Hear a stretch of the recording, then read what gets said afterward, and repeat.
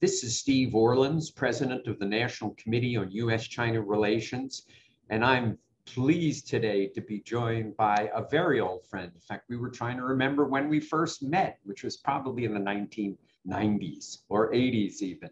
Uh, but he, today he is joining us because he is the author of an extraordinarily comprehensive look at China's economy from the beginning. Reading this book kind of took me back many, many years ago. In fact, took me back to when I first went to China, Bert, in in uh, in '79, but then took me back to when I was studying China um, in the late '60s, early '70s. But it is China's economic challenge, unconventional success.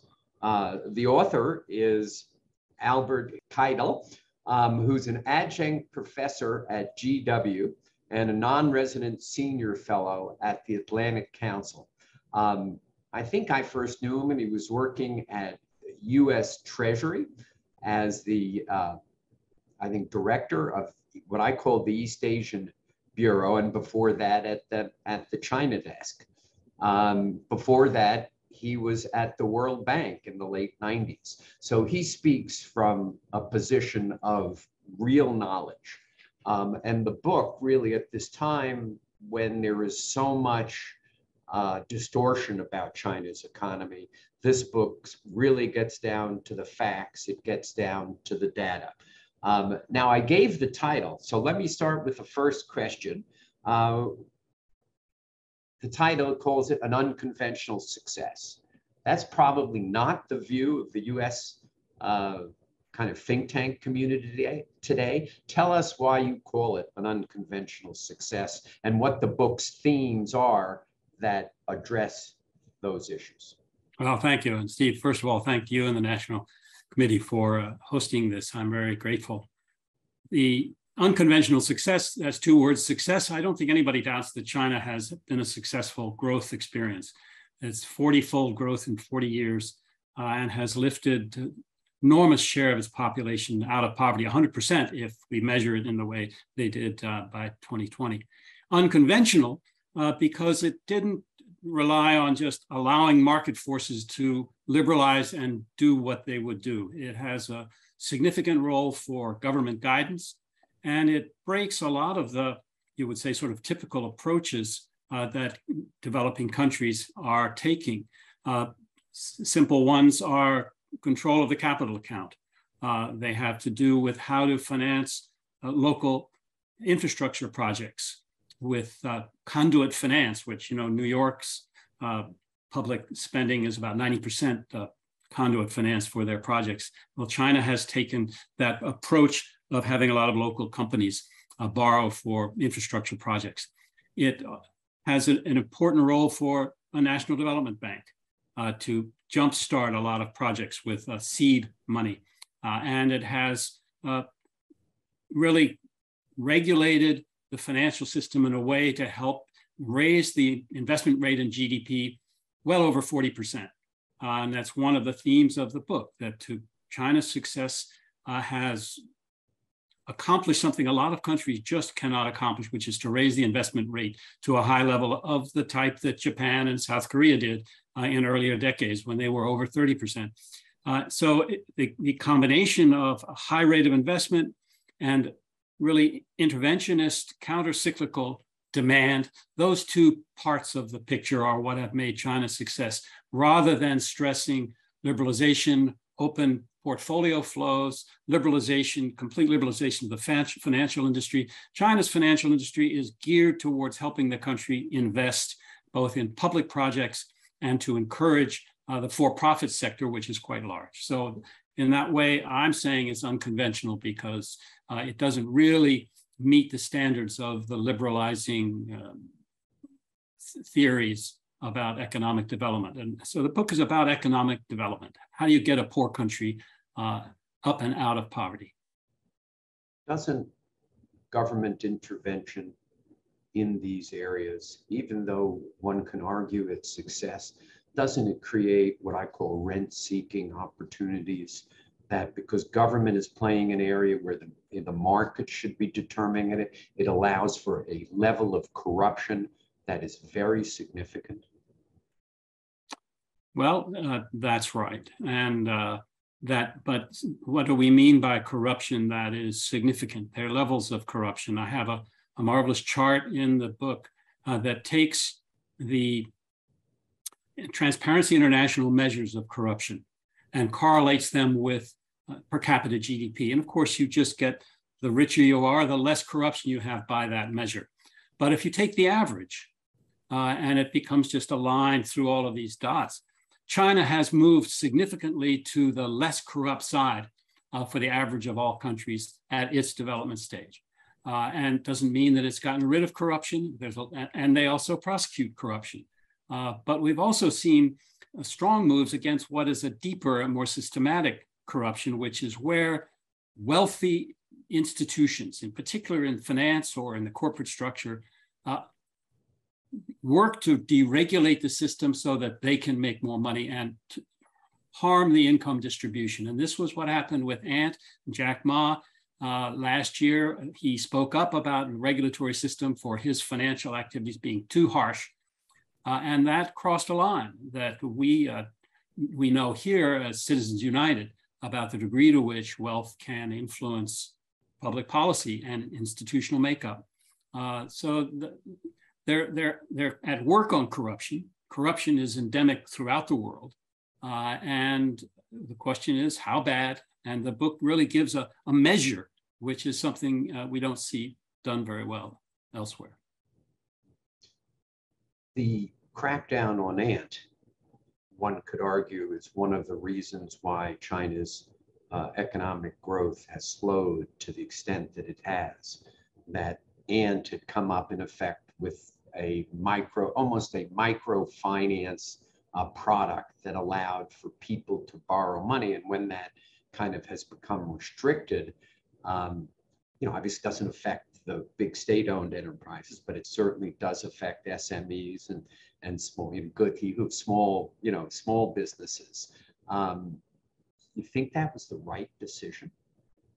Yes, there is a uh, there's an issue with any kind of financial institution as to how well uh, it's managing its assets uh, and supervising the assets it has influence over to avoid a crisis. Uh, and there were concerns that Ant wasn't very well regulated. And this, of course, is what Jack Ma was speaking to, uh, that he was going to be regulated too heavily. But there are very good reasons for financial regulation all around the world to look at composition of assets, uh, to look at how, their quality, uh, to make sure that they're not building into bubbles that can burst. Uh, and so I think that was what the Chinese, this was a new phenomenon. It actually was introduced into China by foreign financial interests, particularly from Japan. And Jack Ma was sort of their, their front guy uh, in China.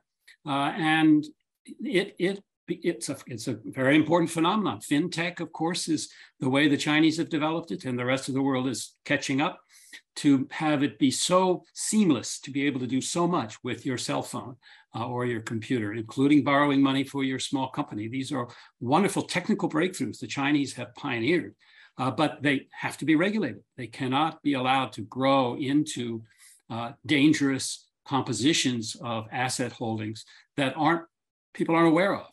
Uh, and so we have run into this, this issue of regulatory uh, competency uh, in, in, various countries around the world, particularly back in the financial crisis. And so I, I think it was the right decision. It doesn't mean that Ant isn't going to operate, uh, but it punished him and Ant uh, by then denying him the right to raise funds on the New York Stock Exchange. But it was a, a clear message that we are not going to stand for a a private financial institution that wants to be more freewheeling to tell us how to regulate our financial sector. Mm-hmm. Even though in the United States, in other places, you know, the regulated institutions have regular conversations with the regulator to determine the best way to make sure there is not systemic financial risk. I would also, you know, I think in Ant's case, they're probably, the it's one of those areas where the benefits of technology, you know, I, I spent time doing leverage buyouts. You know, the, the credit risk is the toughest part of an analysis. The more data I had, the better the chances that I would not make a mistake. And because of the data that Ant Financial had, it had an ability to kind of uh, reduce credit risk in a way that probably it didn't exist at a time when when I was a banker or you were at Treasury. Also, this is a great uh, example of what Xi Jinping's strategy has been over the last, or the, the government under Xi Jinping, because I think Xi Jinping's policies, so called, are really the product of an enormous policy making process, both within the party and within the government. And that process over the last 10 years, since the financial crisis, in the analysis in this book, is to get ready for a major investment uh, explosion in urbanization to try to merge the rural and the urban labor forces, which will be very expensive, require a lot of housing, a lot of water, a lot of sewer, a lot of electric power, a lot of highways, subways, and so forth, a lot of construction, but also the integration of labor. And the one barrier to doing that is the financial sector. It's too porous. The Chinese call it the waterbed financial sector because you put money in over here, but it squirts up over there. Uh, and so that's a that's a almost a technical term the Chinese have. And so what they've had to do over this last year and have avoided pouring money into major urban projects because they're afraid they'll go into high-end speculative housing or they'll go into the stock market or they'll go into capital flight. And so they've been working on the interbank market that has been a, a pathway for uh, shadow finance and the shadow banking system to move money around in ways that avoid what its public purpose is. And they'd gotten pretty close to that by 2019. Uh, and they were ready, they were announcing, I think at your meeting uh, early in 2020, when I was there, they were saying we're finally getting movement now on the urbanization, on the hukou reforms, uh, and it looks like we're getting going. And then, of course, COVID was already underway that January of 2020 in New York when we were there. And so I think there that is their plan for the next decade, is to is to integrate the rural and urban areas, an enormous project. But to do it, they need to have a financial sector they can trust. And so I think in the last 10 years, and this includes Evergrande, you know, the, the, the whole real estate uh, asset situation to try to tighten that up so that it's not dangerous. Uh, and, and so this Jack Ma and uh, the fintech regulatory process is part of the shadow finance system that needs regulatory uh, strengthening. If the, the real reform, a really tough reform, and your, your guest, you know, a few, I guess a few months ago, uh, has focused so much on rural needs and rural integration, has stressed that with the, China's economy cannot operate optimally if its rural labor force is not integrated into the formal sector. And so that big job is ahead of China. Now it's going to be expensive, and right now it's held up by COVID. And then I, when, when that is over, I think that is going to be, and that, that course is very different outlook that I'm proposing from the one we're hearing from. It's, you know, it's amazing. So you know, as many as a dozen outlets recently are talking about the trouble the Chinese economy is in and that COVID has really knocked it down. And you can look at the slow growth rates and the declining productivity, so forth. I, I, don't want to disparage a lot of that, but most of those, if not all, are written by political political scientists, and they're looking at a lot of what I would think are more superficial tendencies when the fundamentals are really strong, that China still has a high rate of investment in GDP, a good grip on what aggregate demand looks like, and inflation is very low. So that uh, I, I, think this is the kind of thing going forward that we can expect.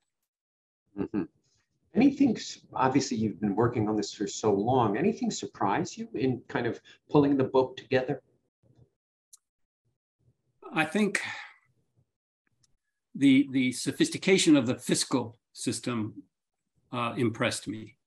Uh, when I began to do the data, for example, Chinese introduced a value added tax, which we knew was a good revenue raiser. And so that governments that are trying to do a lot of development, they need money. And, uh, and, a, and, a, and, an efficient tax system is critical. So they introduced a, in the mid 1990s a, a value added tax, which of course Europe had done long before and, and, and helped, uh, for example, Maggie Thatcher raise a lot of money that uh, they hadn't expected her to. But they did something also very interesting. They then, the central government took most of the tax revenue and then informally turns it back to the provinces and called Fanhua. And uh, that is, is kind of an invisible way of redistributing money. So that when I did a chart that's a table that's in the book uh, that showed what share of the domestic budget is this returned money from the center, it's very small for Shanghai and Beijing, but it's almost the whole budget for Tibet uh, and Guizhou and the very poor areas in the West. So there was this redistributional process uh, that I found actually it may break rules because you should be transparent, which is what a lot, and this process gets criticism uh, that it's not transparent. But if you're moving money to where it needs to be from a public purpose point of view, uh, that's going to, that could be interpreted to be hurting those that are better off and have to give up those funds, uh, why make it transparent? Why not just let it happen? And, and that's what this system in China does. There's a real sophistication in accomplishing a difficult task that I, I was uh, pleasantly surprised to see. Mm-hmm. The book, what does the book tell us about China's future economy? What it will look like? Uh, you, you talk about and don't really opine. You say many feel that, that China uh, GDP will be double what the United States is in 2050. Do you think that is what is going to happen? Do you think that's where we're headed? You know, what do I know? Uh, I, there's a table uh, that re, redoes a table I did when I was in the Carnegie Endowment, uh, well, you know, 14 years ago or so, uh, that takes the China's economy in this decade, and this century, by 10-year jumps. And it starts out historically through 2020 uh, in 10-year jumps, and then it hypothesizes, I, I call it an illustration of what could be. But it makes the US growth rate hopefully improve to about 2.5% uh, year on an average growth rate.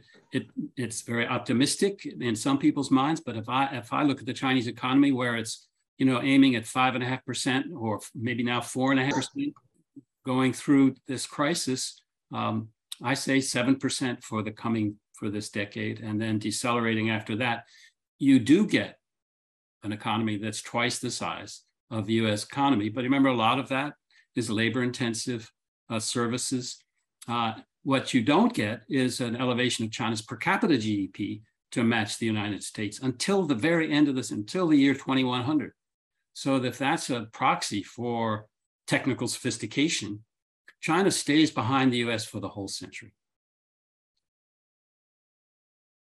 Why do you think, as you and I were talking before, why do you think this book, which again I think 15 years ago would be right within where the consensus of US economists are, is now outside the consensus? What's going on?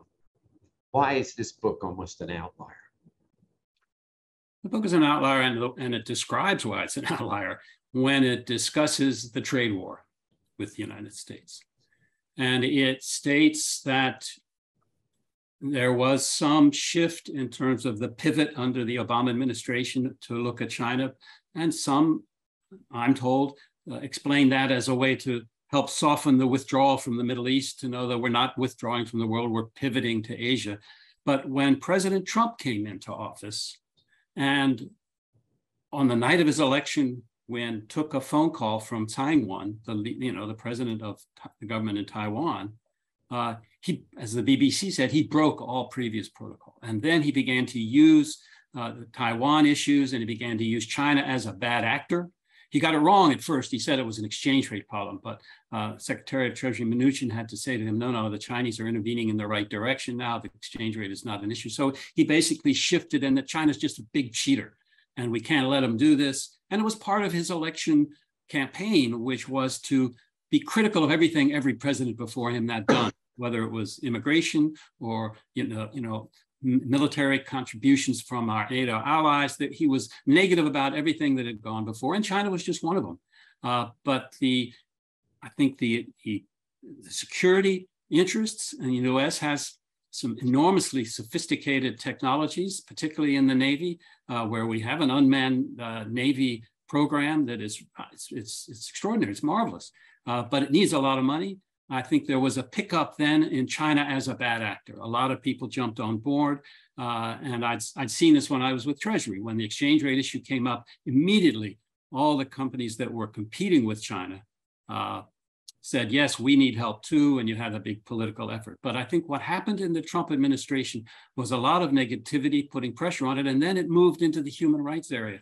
and you had Secretary of State Pompeo with an envelope. I have here proof of, of genocide in, in, uh, in Xinjiang uh, that was immediately picked up by a lot of people as a symbol of uh, how evil China is. And there is a, a, a, a, sort of a potential and a quick start description of China as really, really bad guys.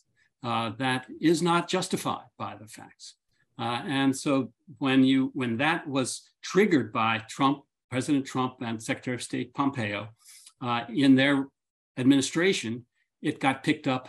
And uh, sadly, I think the Biden administration, uh, looking at the political situation in America today, uh, doesn't want to counter that and appear to be soft on China. So that there's a there's a movement in China now that it's really evil. Uh, there's the sense that China began to put pressure on Taiwan when, of course, it was a response to the Trump uh, initiative uh, that China saw so threatening and breaking the rules, as the BBC said.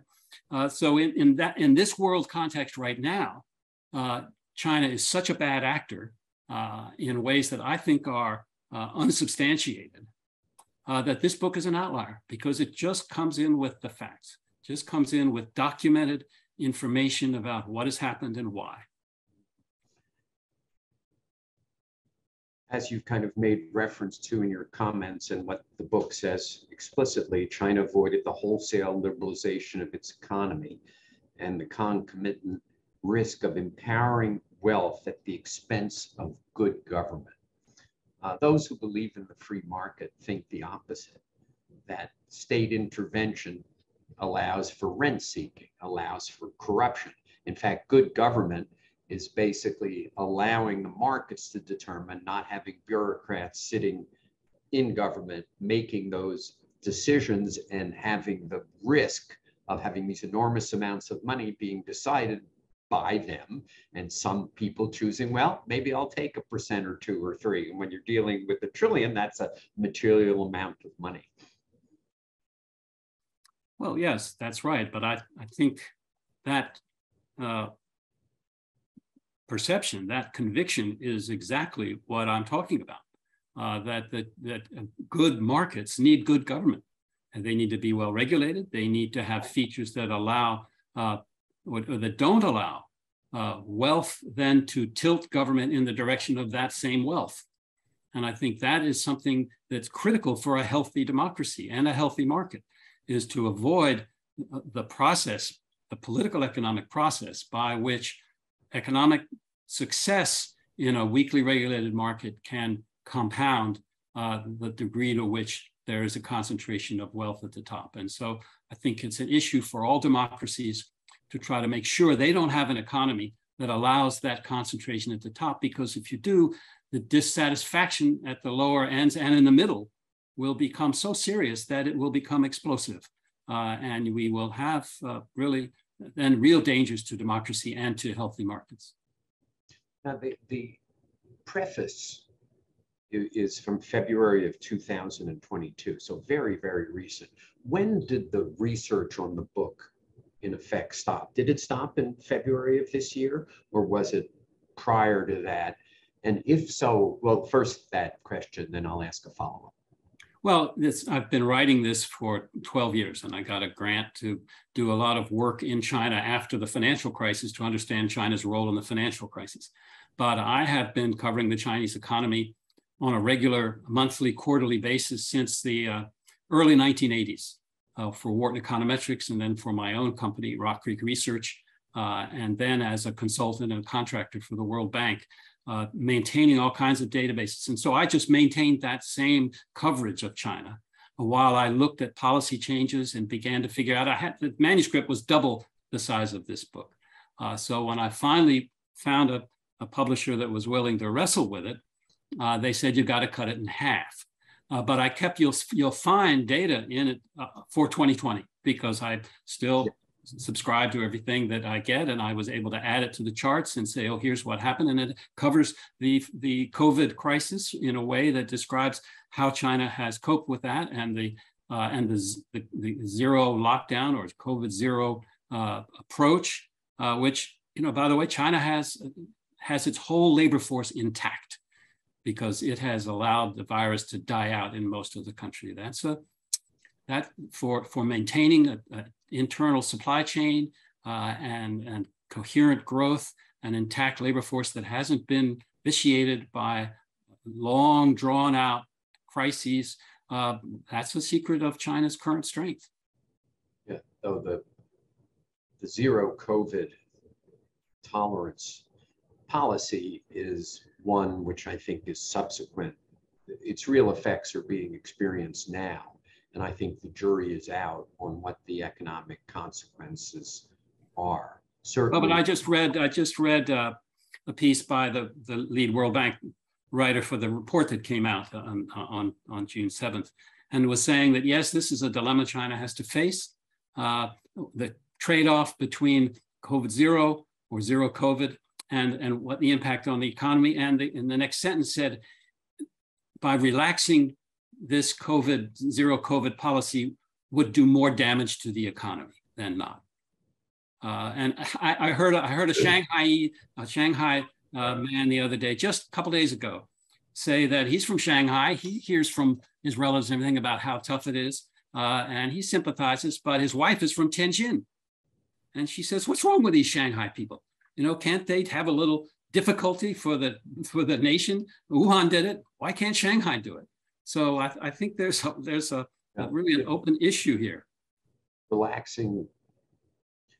You can, I think it's important. You can't talk about the zero tolerance policy without talking about China's uh, policy with respect to mRNA vaccines, with respect to importing those vaccines. Uh, I, to true, in truth, I remain simply uh, gobsmacked that the Chinese government has not imported the mRNA vaccines. It's, it's, if they did, if they had a massive vaccine campaign, which you and I know they could do, uh, they could end the zero COVID policy without enormous risks to their population. Well, I think the, the big difference is, is they're elderly, but they just haven't vaccinated a good number of their elderly citizens. They're not forcing them to. They're trying to make it more voluntary. Now, I think it could be that the side effects of their vaccine, based on dead virus, uh, is maybe harsher than the side effects of uh, of, of, the MNRI, but I, I, I don't know that. I'd like some scientific information on that. But I, I, the issue is how to get their elderly vaccinated. The problem is because there wasn't widespread COVID in China, the data that we have from China is not great, and they haven't had enough of release of that data from other places to allow us to make sensible decisions. Now, the WHO thinks it was effective enough to be approved, as was the Sputnik, the Russian vaccine, as were a bunch of other vaccines. Let me, let me just, uh, you know, I think we've given the viewers a great taste of what is in the book. It is really, it's it's just a terrific read from, and it takes you from the very beginning to the present, which is terrific. But talk a little bit about what's going on economically between the U.S. and China, how U.S. inflation uh, is going to affect China, how the Fed having this enormous increase in um, the, the, Federal Reserve rate uh, day before yesterday um, is going to affect China? The I think China will have to work hard to insulate itself from several things that are happening, right? In addition to the US uh, fighting inflation with high interest rates, which would cause some capital flight uh, and some serious capital flight. China's therefore, you know, had to work instead of lowering interest rates to try to stimulate its economies had to work with more quantitative measures to keep its interest rate up. Also, the war in Ukraine with the inflation on on food grains in, uh, around the world and how to affect China. China has had a strategy that I've been arguing against, I guess, since the early 1980s of self-sufficiency in human feed, food grains.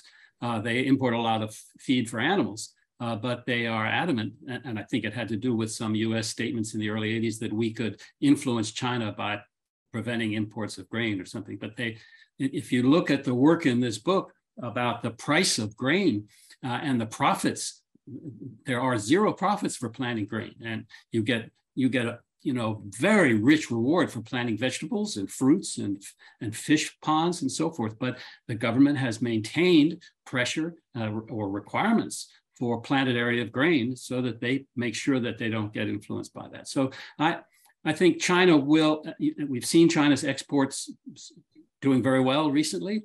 Uh, that has a lot to do with the health of the rest of the economy.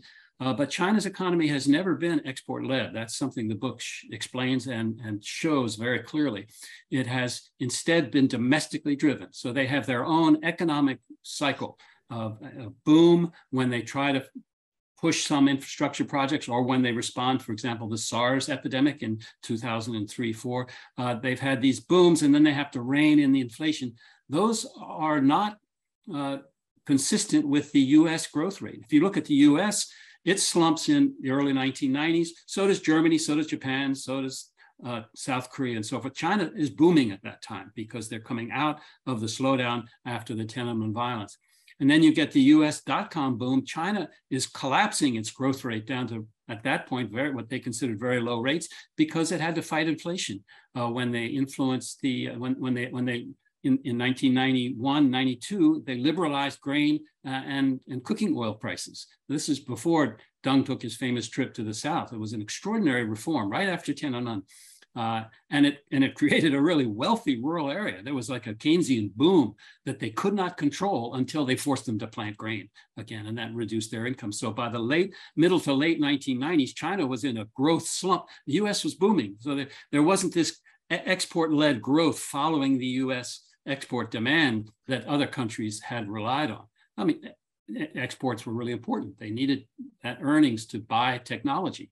Uh, but so China right now is in this same position. It has these mechanisms to be able to control and influence domestic demand in a counter-cyclical way. And I think they will come through uh, the, the global tribulations now by applying, as I said at the outset, they have uh, for, they've done for 40 years, a whole series of processes and, and, and perfected them. And they're still in operation. Their, their, their model is not in a crisis. Uh, and they will apply it once the COVID situation is uh, resolved satisfactorily uh, and keep going. Last question, because we're out of time. Uh, we have the 20th Party Congress in this autumn. After, what should we expect? expect? Are there any surprise? I guess by definition, surprise we don't expect it. But what should we expect in terms of economic policy after the 20th Party Congress? And I know that's a 20 minutes answer, but my answer is going to be not, it's going to be boring. There will be continuity with what has been going on. Uh, as I said, up to uh, the process of 2019, they were getting ready for a major policy initiative that had required controlling the shadow financial system. Uh, and if you look at the policies then Xi Jinping first came into office, they're all, they're, the continuity there is so strong with what went on in the Hu Jintao policy.